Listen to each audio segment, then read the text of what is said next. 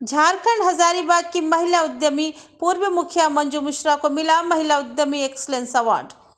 आर्य युवा केंद्र नई दिल्ली द्वारा आयोजित एनडीएमसी कन्वेक्शन सेंटर में तीन दिवसीय उद्यमी हाट प्रदर्शनी एवं सम्मान समारोह में झारखंड का प्रतिनिधित्व कर रही मंजू मिश्रा ने अपने द्वारा निर्मित 20 प्रकार के अचार व स्थानीय महिला उद्यमी मरियम पूर्ति, विद्यारानी शुक्ला, सावंत एजुकेशनल सोसाइटी एवं वैली पराग द्वारा निर्मित हैंड बैग स्कूल बैग, सफ़र बैग, रोज केक, अनरसा का स्टॉल लगा के दिल्ली में लोगों को बतलाया कि कैसे महिलाएँ घर बैठे उद्यमी के रूप में रोज़गार से जुड़ सकती हैं और अपने साथ साथ देश की अर्थव्यवस्था को भी मज़बूत कर सकती है। तभी माननीय प्रधानमंत्री मोदी जी का सपना साकार हो सकेगा।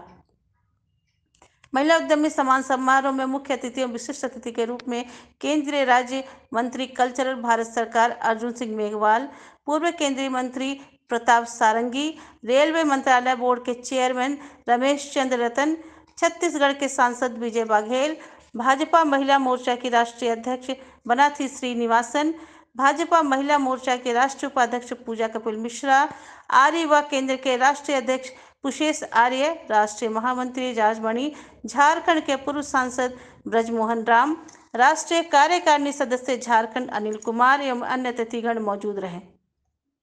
मौके पर समाजसेवी रामकिशोर सावंत, नमिसा टुड्डू, पिंटू कुमार सहित तेरह प्रदेशों की महिला उद्यमी तथा पदाधिकारीगण मौजूद थे।